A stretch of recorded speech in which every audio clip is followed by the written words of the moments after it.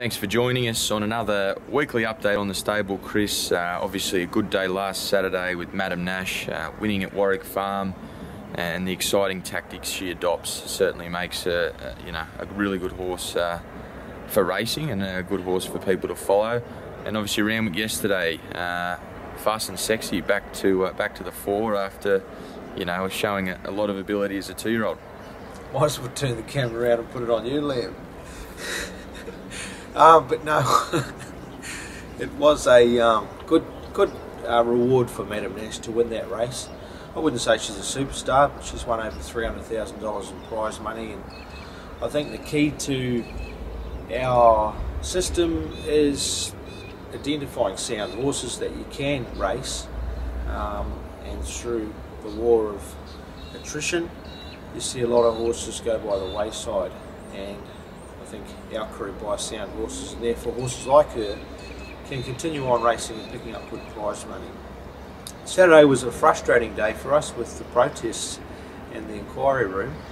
Um, obviously, Clever Boy won what I thought was well, uh, making it three in a row. And unfortunately, we were denied in the, in the steward's room, but that's racing, and um, it's a big financial loss, but hopefully we can make up that not too distant future, and even Sacred Flyer to some degree was taken out of the race and still managed to run second, but it was just too hard to prove that the winner, winning by length, um, cost us that margin of the interference. Now, it's certainly good to see that the glass is half empty and not half full with you, Chris. Uh, you've, you've won more races than anyone this year, and Still complaining. Good to hear. Anyway, we'll jump into Saturday. Uh, Rose Hill and Melbourne. We'll just start with Rose Hill. Uh, the three-year-old's relaxed and happy, and clever boy. Um, clever boy. I think keeping an open mind on horses is the best way to go, and that's exactly what we've done with him. It's all about trying to find the right race when they're in form and I can't find the right race for him, so I thought about backing him up on Saturday. So he's in the field. We've got up until 7:30 Saturday morning to make that decision. Um, it might seem hard backing a horse up, but it all depends on what you do prior to their racing or during their racing preparation or in between runs. And I'd like to think that we're pretty kind on our horses and give them plenty to plenty of variation, and therefore when you want to back them up, they can. And you only have to look back to John Size. He used to race the horses just about every week, and they'd win three or four in a row. Um, it's all about getting them happy and keeping them happy, and when they're in that frame, they certainly win races. Both look very good chances in the race. Uh, relaxed and happy, 1400 metres looks the query, and clever boy. Uh, he's, he's been first past the post in his last three. Uh, you've taken the blinkers off and put the winkers on. Yeah, just to try and open things up a little bit for him. Um, he lays in and out and does a few little things wrong. and you're always experimenting and learning about horses. We'll continue to do that until we get it right. Relaxed and happy, I think, although he is probably a 1200 metre horse, 1400 metres will allow him to get to the front, or if he doesn't want to lead, allow him to cruise a lot easier. They just go that little bit slower over the 1400 metre distance. So that's the reason for stepping him up. And Clever Boy comes back a distance um, once again simply because it's the right race so he's done little little fast work this week in fact none just keep him ticking over and making sure he's nice and fresh for Saturday if he does run the fillies and mares over the 1350 metres, two runners. Uh, Caesar's Princess is the second emergency, and Berry Miller uh, obviously only just got beaten by the barest of margins at that Monday meeting at Rose Hill a couple of weeks ago. Yeah, she's working her way into good form that was a pleasing run and proves that she's up to Saturday grade and um, up at this level. So she'll be hard to beat and she's drawn well. Caesar's Princess, the reason they've balloted her out is because the rail's out 8 metres and they've had to restrict the field size, uh, which is unfortunate for her. So I'm hoping that one of the horses drawn out wide may scratch or two of them may scratch so we do get a run because uh, I'm looking forward to stepping her up to 13.50 if she doesn't gain a start, we'll have to find another race for her. Uh, the winner stakes, uh, obviously sponsored by Ingham's. A uh, couple of runners here. Wasn't first up off a lengthy spell.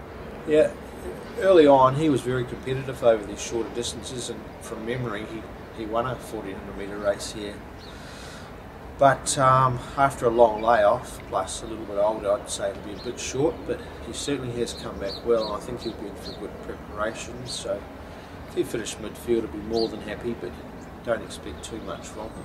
And Cope AT, uh, disappointing run last start after showing good form uh, for his first few runs in the preparation. He looked to bounce back on Saturday? I'd say so. Th what we've found in the last few weeks is these heavy tracks really do uh, affect a horse's performance, and there's doesn't seem to be any way of knowing which horse will handle which track.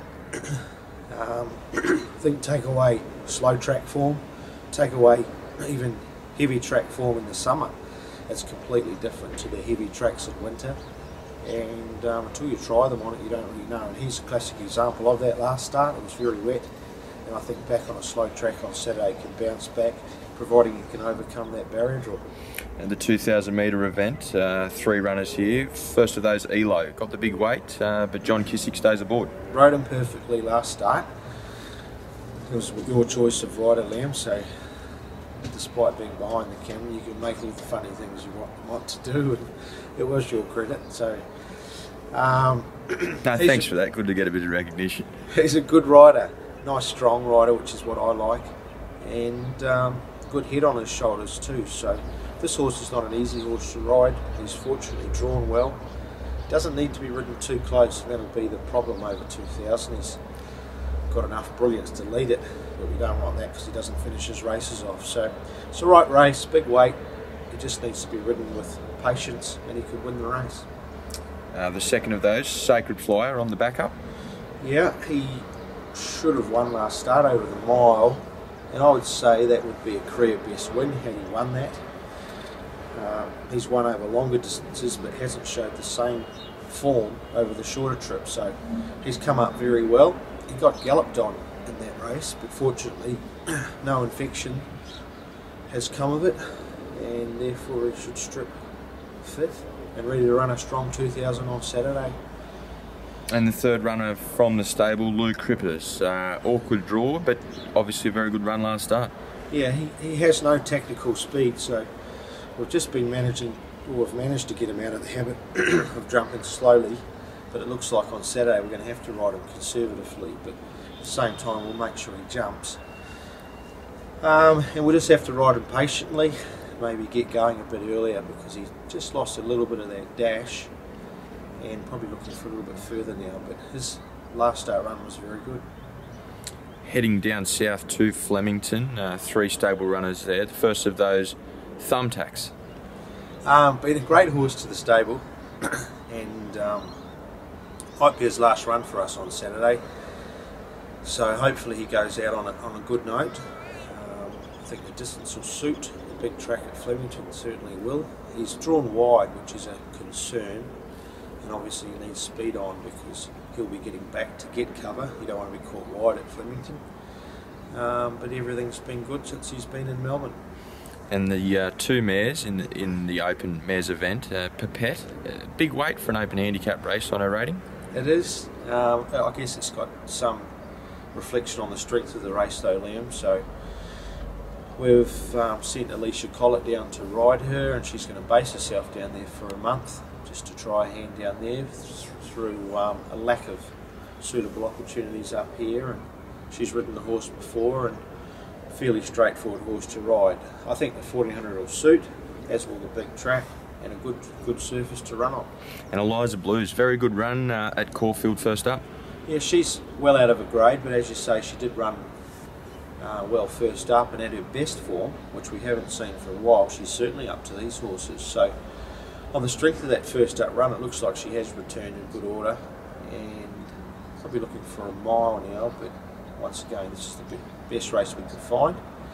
And on her day, she's a very handy horse, so in the right race.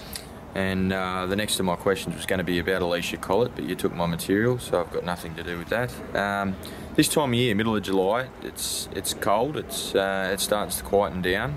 Uh, the premiership is uh, obviously well and truly over, and all the fanfare around you breaking the record is uh, is now finished.